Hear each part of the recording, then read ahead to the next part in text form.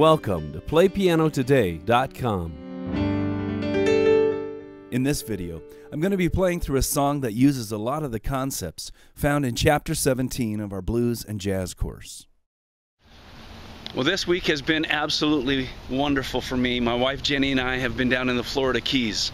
It's kind of been on my bucket list, something I've always wanted to do, and we've had a great time. This is probably the most overcast it's been all week. We've been getting absolutely fried down by the pool and uh, having a great time. Just kind of doing nothing. And uh, kind of singing the blues because tomorrow I leave. Uh, Jenny and I go back to Oregon, which is very beautiful, but it's not sunny right now, and we're going to miss that. But today we, we were getting uh, a lot of sun down by the pool, and so we snuck up back to our hotel room, and I got out of the sun and started banging on my little portable keyboard and I rolled a video camera and I thought maybe I'd put together something for you. I'm doing a jazz course. Actually, the blues course that I've got online is morphing into the jazz course because blues really is the basis of American jazz. And we're into chapter 17 now and we're doing something called muscle memory, getting your hands to remember things automatically using muscle memory so you don't have to think so much while you're playing, which is helpful for a guy like me.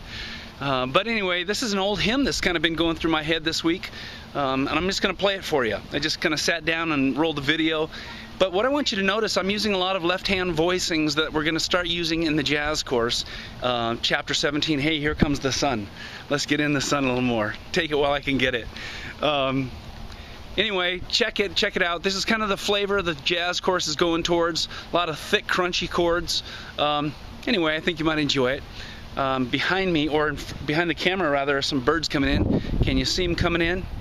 That way is uh, Cuba, 90 miles. Some of the greatest jazz in the world is right over the horizon, but uh, can't get to it these days. And here comes an ambassador to say hello.